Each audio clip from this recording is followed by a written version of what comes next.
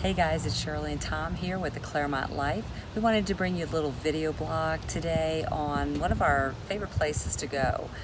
It's one of uh, Clermont's neighboring cities, uh, Winter Garden.